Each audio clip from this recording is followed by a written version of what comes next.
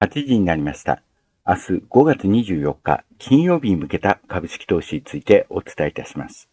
まずは外況、引け後に発表された有望 IR、その他の IR、本日の増配株、昨日発表された IR の値上がり率ランキング、本日のストップ高ストップ安、本日の値上がり率、値下がり率ランキング、明日反発期待の本日の急落銘柄、そろそろ反発期待の売られすぎ銘柄、反発を開始したかもしれない銘柄、新規上場スケジュール、株式分割スケジュール、決算スケジュール、配当関連情報、明日のデイトレ広報、需給が軽く上がりやすい銘柄、トピック、半導体銘柄、生成 AI 銘柄、ランキング、安くなった逆張り候補、上昇中の順張り候補、リバドリから売り、本日のバッド IR、この順でお話しいたします。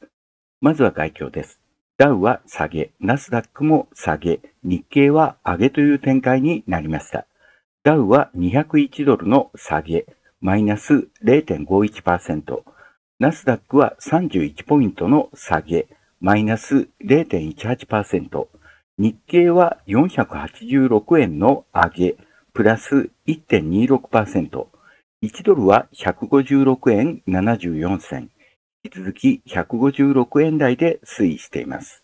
午後2時時点での東証プライムは値上がりが882銘柄、値下がりが708銘柄、変わらずが59銘柄、上げと下げが拮抗した状況にあります。アメリカは公開された FOMC の議事録用紙で参加者が強いインフレ警戒を示していたことが明らかとなり、景気景気敏感株を中心に売られました。日本の方は NVIDIA が市場予想を上回る高決算を出したことで半導体を中心に買われています。アメリカ国債10年ものの利回りは引き続き4.4%台で推移しています。日本の方は低下し0.99%台で推移しています。ドル円は引き続き156円台で推移している状況です。昨夜の NVIDIA は4ドルの下げ、マイナス0.46%、3日ぶりの反落となっています。業種別株価指数は上げ下げまちまちな状況となりました。電気機器がプラス1.89%の上げで値上がり率トップになっています。石油石炭がマイナス1.24%の下げで値値下がり率トップになっています。売買高ランキングは上げが優勢な状況となりました。レーザーテックの売買代金はこれで3日連続で1位となり、売買代金も2000億円台を確保しています。本日、半導体株は NVIDIA の高決算を受けて大幅高となっています。売買代金上位15銘柄のうち8銘柄が半導体関連の状況です。そしてソフトバンクグループは AI 関連に成長の軸を転換する経営方針を示していたことで、今回の NVIDIA の高決算で買われています。経済スケジュールは今夜の PMI と新築住宅販売件数が注目ポイントです。新ニーサランキング次回5月27日に更新する予定です。詳細はこちらの動画をご参照ください。次に引き後に発表された有望 IR です。まず、キャスター。キャスターはリモートアシスタントなどの人材派遣サービスを行う会社です。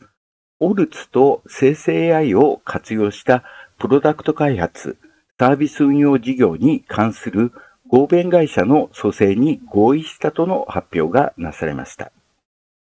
こちらはホームページから持ってきたものです。当社は2024年5月23日開催の取締役会において株式会社オルツとの間で生成 AI を活用したプロダクト開発及びサービス運用を主な内容とする合弁事業を蘇生する取引に関する基本合意書を締結することを決議いたしましたので、下記の通りお知らせいたします。オルツというのはデジタルクローンを作って人の非生産的労働からの解放を目指すという会社です。AI 企業で1年で導入者数3000社を突破したという有名な企業です。GNI グループもオルツと現在組んでいます。本日の株価は1220円。出来高は1万7000株です。この1万7000株の10倍 ,10 倍以上ですが、19万株の信用概算がある状況です。1年の株価の動きは2月16日に1112円ですので、ここら辺の位置です。一方、4月8日に2040円ですので、ここが最高値です。4月1日にマネーフォワードと、マネーフォワードとの資本業務提携で急騰した経緯がこのようにあります。株価は割高で配当もない状況です。時価総額も24億円、極端に低い状態です。信用買いが多いという点はご注意ください。次に、セルムです。セルムは企業幹部の育成支援を 行う会社です。4万5000株、0.4%から63万株、5.4%へ自社株買いを拡大するという発表がなされました。5月14日に発表した自社株買いについて、取得枠の上限を従来の4万5000株、0.4%から63万株、5.4%へ取得価格の上限を4700万円から7億円へそれぞれ引き上げた。取得期間も5月24日までから8月30日までに変更した。こういった内容です。本日の株価は759円。出来高は1万5000株です。この1万5000株の10倍以上ですが、22万株の信用概算がある状況です。1年の株価の動きは4月19日に624円ですので、ここが最安値です。一方、1月17日に845円ですので、ここら辺の位置です。直近はこのようにゴールデンクロスを経た上げトレンドでの今回の IR です。株価は割安ではありませんが、配当利回りは3.16%、良好な状態です。稼ぐ力も高い数値となっています。一方、時価総額は98億円、低い数値になっています。信用買いが多いという点はご注意ください。次に、アンジェスです。アンジェス、えー、早漏、早漏病治療薬の発売日決定という発表がなされました。こちらは、えー、ホームページから持ってきたものです。当社は2024年4月17日に早漏症治療薬ゾキンビーが薬価基準に仲裁されたことを受け、総労省治療薬の薬価基準仲裁並びに発売についてを公表しましました。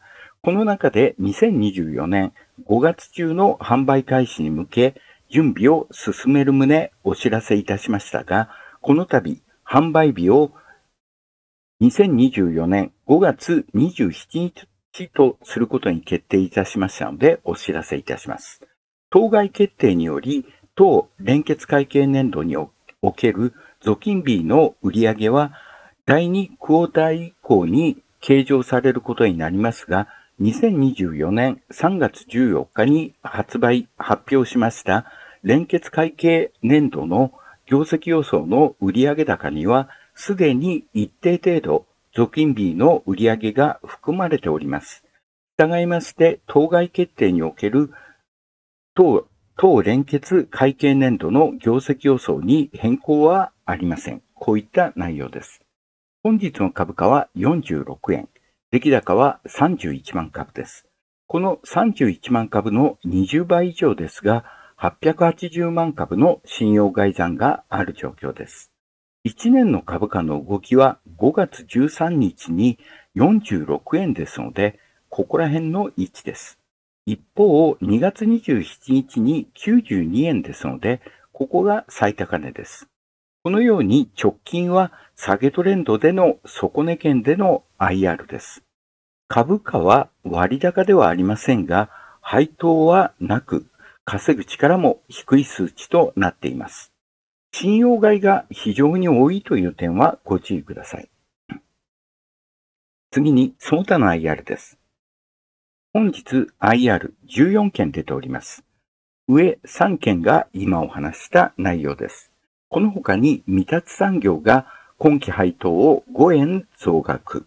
KI スター不動産は40万株2.54%、10億円の自社株買い。グッドコムアセットは40%の下方修正。グローバルセキュリティは未定だった今期配当は15.5円増配。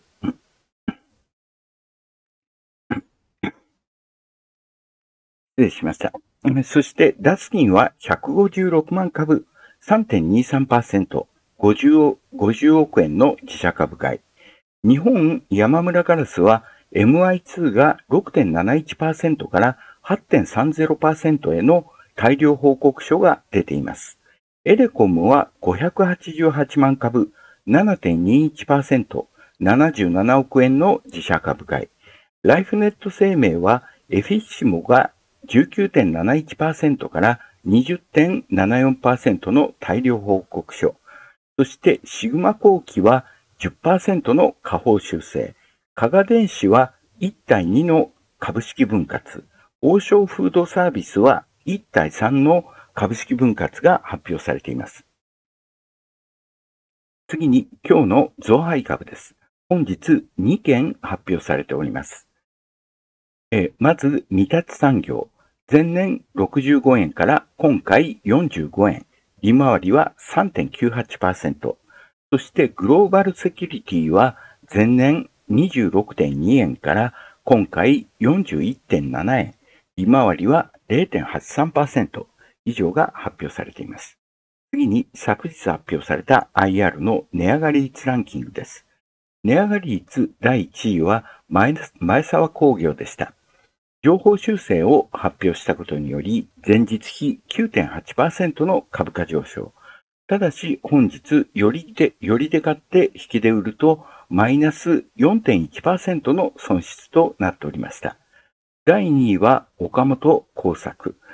三井、えー、三井物産と資本業務提携を発表したことにより、前日比6.3%の株価上昇。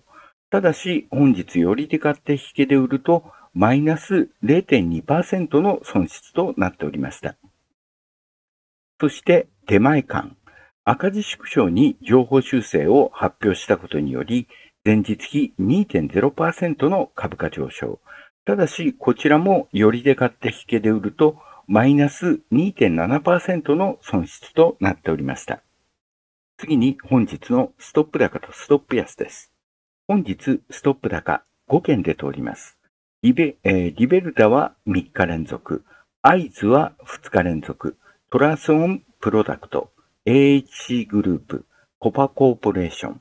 このうちリベルタは住友化学との冷感衣料品の共同開発によるものです。アイズはメディアレーダーに関する特許取得を発表したことによるものです。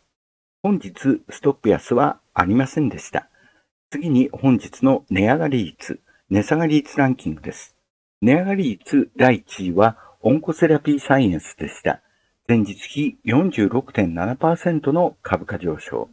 第2位はサンキャピタルマネージメント。前日比43.5%の株価上昇。第3位はリベルタ。前日比29.7%の株価上昇。値下がりの方は第1位が松本。前日比マイナス16.5%の株価下落。第2位はコンバノ。前日比マイナス15.8%の株価下落。第3位はメタプラネット。前日比マイナス15.6%の株価下落でした。次に明日反発期待の本日の急落銘柄。まず、九段が前日比マイナス12.80%の急落。住石ホールディングスはマイナス12.44%の急落。ラボロ AI は前日比マイナス8.85%の急落。もちろん続落する可能性もあります。まず、九段ですが、こちらはアメリカのロボット企業が採用したとのことで、このように急騰していましたが、急落に転じてしまいました。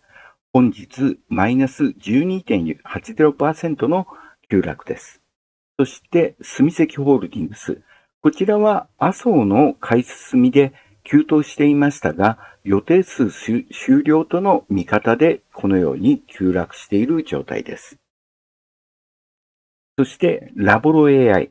こちらは NVIDIA の高決算で高く寄り付きましたが失速してしまいました。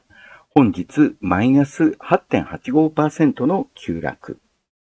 次にそろそろ反発期待の売られすぎ銘柄。この、これらの銘柄についてお話しいたします。まず NTT。連日の状態ですが、本日マイナス1.10%の下げ。RSI は11.7になっています。そして野村不動産。こちらもデッドクロスを経た下げトレンドになっています。本日マイナス1.60%の下げ。RSI は19.4。そして日産化学。こちらは25日線に頭を押さえられた下げトレンドになっています。本日、マイナス0.90%の下げ。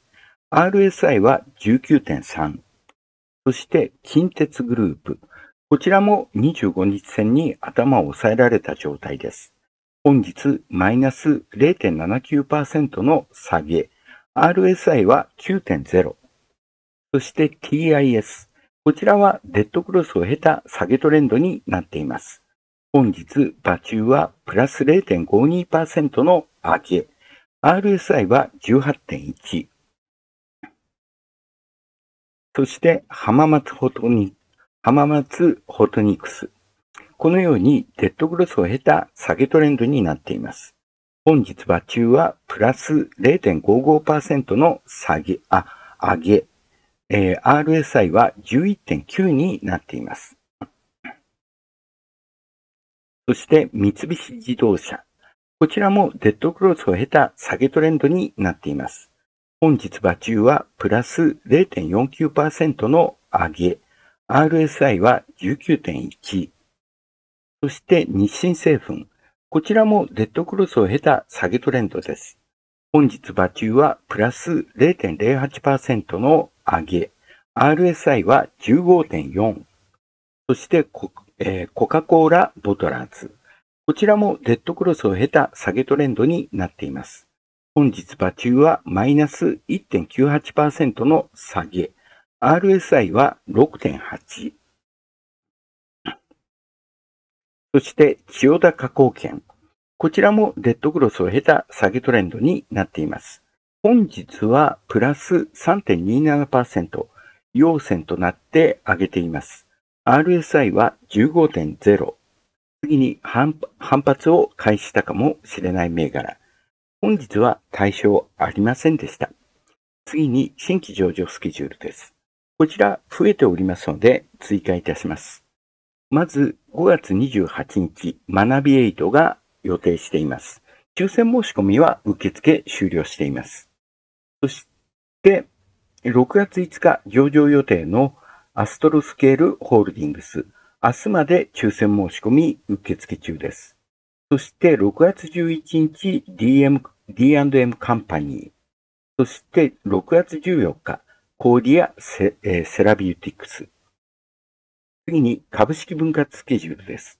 こちら、えー、特にまだ更新しておりませんが、本日、えー、発表された加賀電子の1対2の株式分割、そして王将フードサービスの1対3の株式分割、これについては明日追加いたします。詳細はこれらの動画をご参照ください。次に決算スケジュールです。明日は2件予定されています。今週来週の主な決算、このようになっています。明日は2つとも、引き後の発表で、高賞と北区。2週間分の決算スケジュールと全データはこの動画をご参照ください。次に配当関連情報です。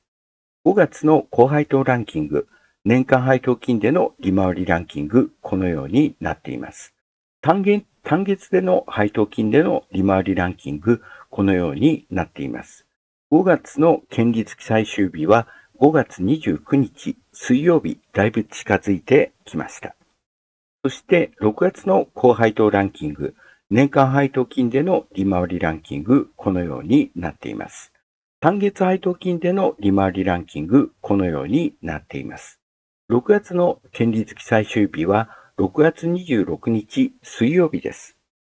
通年での高配当ランキング、週明けには更新する予定でおります。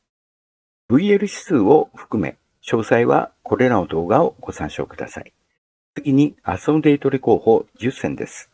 明日、場中で大きな値動きをしそうな銘、えー、柄としては、帝人、イビデン、アイズ、ディスコ、前沢工業、大変、トランスオンプロダクト、バードマン、コパコーポレーション、東京精密、このあたりが明日のデートリに向いてくるのではないかと思われます。次に、需給が軽く火がつけば上がりやすい環境の銘柄。こちらは、えー、来週5月28日に更新する予定です。次にトピックです。NVIDIA 決算と関連銘柄の動き、そしてデータセンター関連銘柄についてお話しいたします。まず、こちらは今朝方、ブルームバーグから出た記事です。NVIDIA 売上高見通しが市場予想を上回る AI ブーム持続。AI ブームの中心にある半導体メーカー NVIDIA は22日、5月から7月期第2クォーターの売上高が280億ドル、約4兆3900億円前後になるとの見通しを示した。市場予想を上回る強気な売上高見通しで AI コンピューティング投資が引き続き堅調なことを示した。ブルームバーグがまとめたアナリスト予想の平均は268億ドルだった。2月から4月期第1クォーターの業績も予想を上回った。ジェイソン・ファン CEO は発表資料で次の産業革命が始まったと指摘。AI はほぼすべての産業に大幅な生産性向上をもたらし、企業のコスト効率とエネルギー効率の改善及び収益機会の拡大に役立つだろうと述べた。こちらが、えー、四半期ごとの NVIDIA の売上見通しです。このように急成長している驚くべき状況になっています。そして、えー、引き続きになりますが、同社はまた1対10の株式分割と四半期配当を150%増の1株当たり10セントにするとも発表した。2月から4月期の売上高は260億ドルと前年同期比3倍強に拡大。一株利益は一部項目を除いたベースで 6, 6ドル12セントだった。アナリストの予想では売上高は約247億ドル。一株利益は5ドル65セントと見込まれていた。このように大幅に上回った結果となっています。主力のデータセンター部門の売上高は226億ドル、ゲーム用チップは26億 ,26 億ドルだった。元々のゲーム用の、えー、GPU ですが、すでにデータセンター用が10倍近く上回っている状態です。アナリスト予想はデータセンター部門が210億ドル、ゲーターあゲーム部門は26億ドルとなっていた。この数値からもゲーム部門はほぼ予想通りですが、データセンター部門がこのように大きく上回ってきている状態です。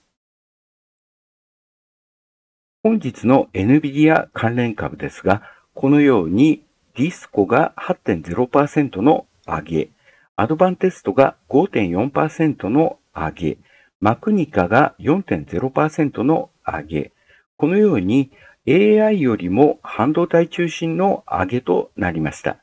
3ヶ月後のまた NVIDIA の決算も似たような動きになるかと思います。そしで NVIDIA の続きになりますが、話題で、話題に出ているデータセンター関連銘柄。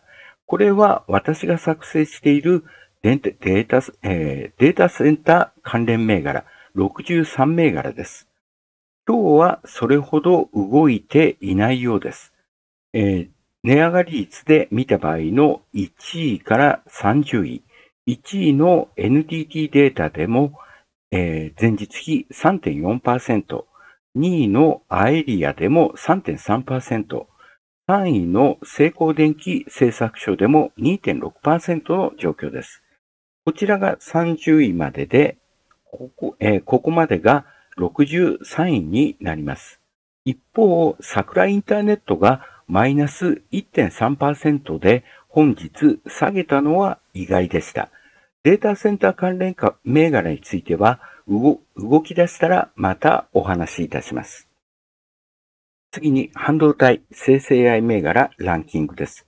これまでの話とだいぶかぶりますが、本日は上げが第1位で、あ第1位の上げがディスコ、前日比8.0%の株価上昇。第2位はデリバリーコンサルティングで7.8%の上昇。第3位は東東洋合成工業で7.3%の上昇。下げの方は第1位が九段でマイナス12.8%の下落。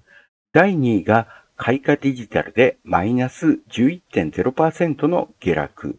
第3位はトリプルアイズでマイナス10.8%の下落となっています。やはり AI よりも半導体の上昇が目立ちます。次に逆張り、順張り。今日の気になるチャート。本日下げて安くなっている株。反転狙いの逆張り向けとして、藤子。こちらはプライム市場の銘柄です。一方、上げ、上げてる株については本日間に合いませんでした。まず、藤子ですが、プライム市場の下げて安くなっている株、反転狙いの逆張り向けのお話です。藤子ですが、ご存知の通り、昆布や煮、えー、煮豆で有名な食品メーカーです。豆製品では業界トップです。カスピ海ヨーグルトが拡大中の状況です。主要な取引先は日本アクセスです。こちらが株価の推移です。12月の4日あたりからの株価の推移ですが、このように2月に入ってから上値を切り下げる形で下げトレンドが続いている状態です。1月31日の2025円から本日1837円、連日で年初来安値を更新している状態です。売上高と営業利益の推移は、ウクライナ情勢や円安による原材料コストの上昇で、このように収益が悪化していますが、徐々に取り戻してきている状態です。配当はこのように緩やかに伸びており、現在の利回りは2.5%前後となっています。こちらが5月13日に発表された決算です。今期計上は2%、あ、今期計上は20%増益。24年3月期の連結計上利益は前の期比20.7%増の18.8億円になり、25年3月期も前期比19.6%増の22.5億円に伸びる見通しとなった。1月から3月期第4クォーターの連結計上損益は1億円の赤字に転落し、売上営業損益率は前年同期のマイナス0.2%からマイナス1.0%に悪化した。このような内容です。こんえー、この要因としては、テレビ CM での反則強化、そして値上げが挙げられています。経常利益の進捗状況は、第1クォーターが15.4%、第2クォーターが40.9%、第3クォーターは97.0%、そして通期は91.8%。このように第1クォーター、第2クォーターの遅れを第3クォーターで一気に取り戻しましたが、第4クォーターは赤字となってしまい、通期計画を8%の未達で終了しています。決算発表の翌日、増益の発表でしたが、このように株価は陰線となり、マイナス0.6%の下げとなってしまいました。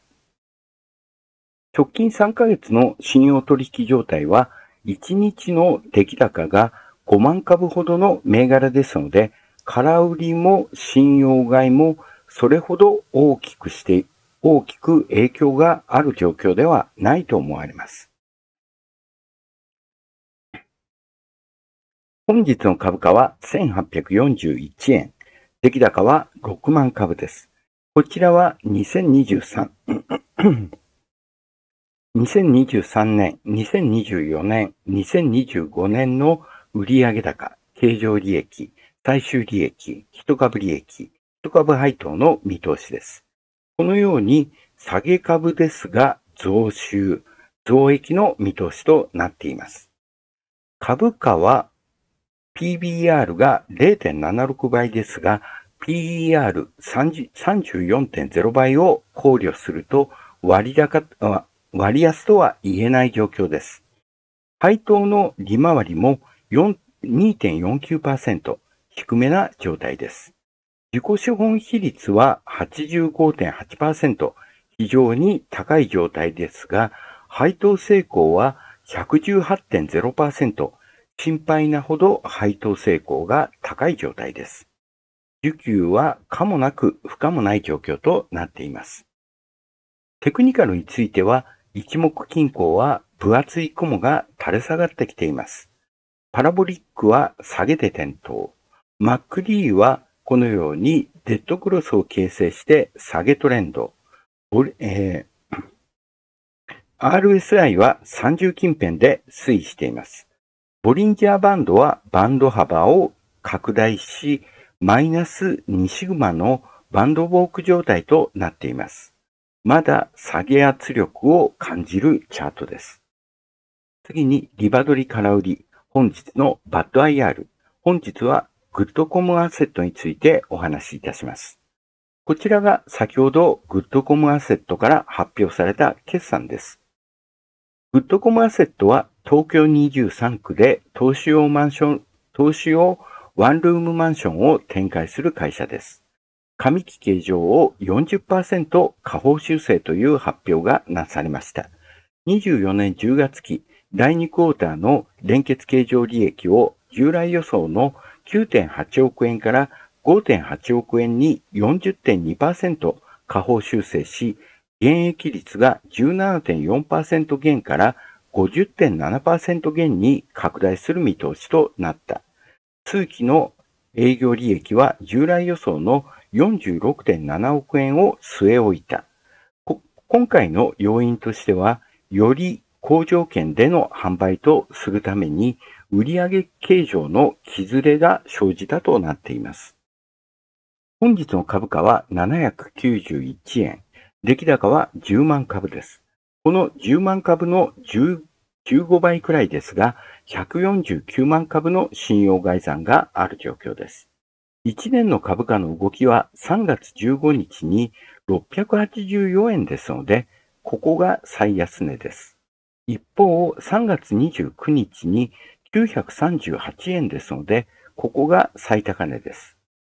直近2ヶ月についてみると、ほぼ横横での状態でのバッド IR になっています。株価は割安ではありませんが、配当利回りは4.55%、高配当となっています。ROE、ROA、稼ぐ力も高い数値となっています。一方、信用買いは非常に多い状態となっています。明日に向けた株式投資についてお伝えいたしました。高評価、チャンネル登録いただけるととても嬉しいです。よろしくお願いいたします。